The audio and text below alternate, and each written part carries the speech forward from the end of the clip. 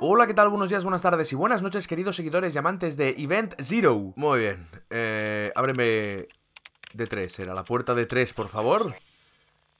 Muy bien, estupendo. Muchas gracias. Eh, joder, ¿qué pasó aquí, tío? Hostia puta.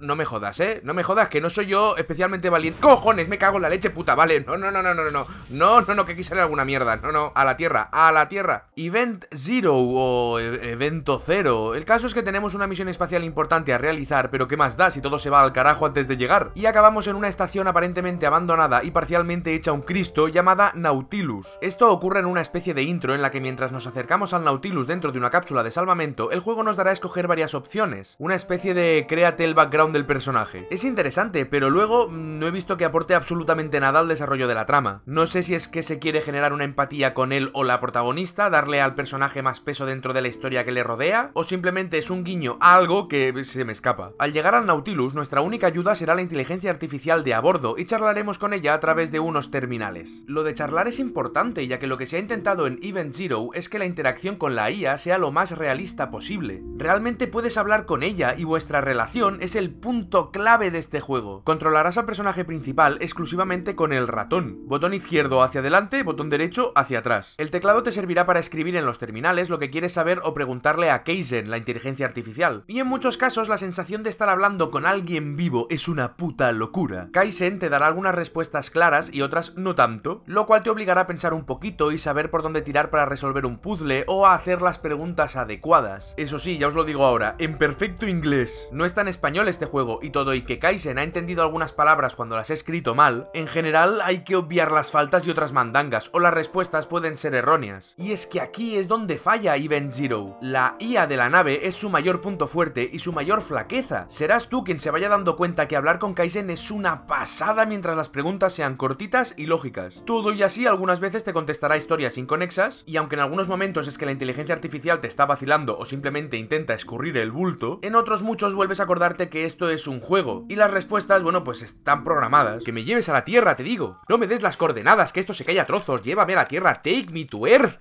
Que voy cagado perdido, que ha saltado los plomos. Que no, que no, ¿qué me estás contando? ¿Pero qué me estás contando tu vida? ¿Quién es Nandi? Pero por el amor de Dios, que me lleves a la tierra. Llévame a la tierra, mira con faltas, pedazo de Thor. Es una lástima, joder, porque se nota mucho el curro detrás de Keisen para hacerla real. Pero cuando falla te saca de golpe de algo muy muy bonito que se estaba intentando aquí. Pero esos momentos en los que de verdad parece que alguien esté al otro lado hablando contigo, hostia, esos momentos no tienen precio. Pero cuando falla o por lo menos lo parece, pues caca. Aparte de esto, el argumento es interesante, la verdad. He llegado a registrar habitaciones enteras con mucho cuidado para saber un poquito más qué cojones estaba pasando o había pasado para que el Nautilus estuviera en ese estado. Quería saber dónde estaba la tripulación y qué papel tenía Kaizen en su desaparición. Y es que a mí los rollos de inteligencias artificiales con humanos, las diferencias entre los dos, quién tiene la lógica absoluta, la evolución de un código cerrado en el descubrimiento de la conciencia o simplemente la incapacidad del hombre de entender un artefacto que ha sobrepasado su entendimiento del universo, que no tiene que ser lo que pasa en Event Zero, ya sabéis que yo spoilers cero. Toda esta mierda a mí me gusta muchísimo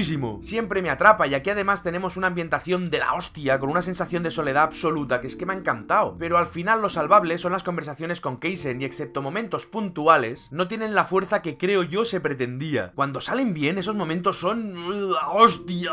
¡Virgen! Pero son pocos. La duración tampoco ayuda con unas dos horas de juego, eso sí, con varios finales distintos, pero igual se han querido explicar muchas cosas sin explicar demasiado en general.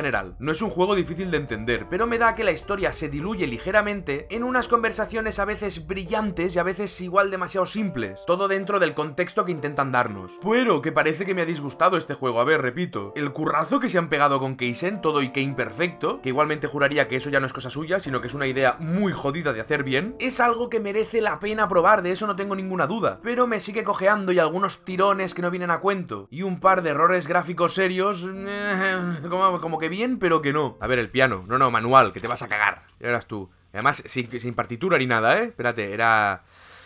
Era... tururu, tururu, Madre mía, clavado. Qué músico se ha perdido el mundo. Todo esto es, cuidado ahí, Event Zero. Lo tenéis en Steam a 19.99 y sintiéndolo mucho, yo me esperaría una rebaja rollo 5 o 7 euritos. 10 si necesitas probarlo como el aire que respiras. Es una gran idea con mucho talento, pero en lo más importante para mí, conversaciones y argumento, tiene demasiadas caídas. Aún así, ha sido una experiencia interesante. Como interesante es el sándwich calentito de jamón y queso, que en Lo llamamos bikini porque en el 53, una sala de fiesta, que bla bla bla. El tema es que si en vez de poner jamón lo cortas en trocitos y lo echas a la paella con dos huevos con pimiento rojo y pimienta negra, haces una tortilla maravillosa y luego lo metes en el pan de molde previamente embadurnado en mantequilla, con un par de lonchas de queso y echas el bocadillo a la paella para dorar el pan, pues eh, bueno, pues tú no sé, pero yo casi que lo veo mejor en todo. Y si no lo ves, pues es porque no lo has probado. Dale, dale, muerde, sí, sí, para ti.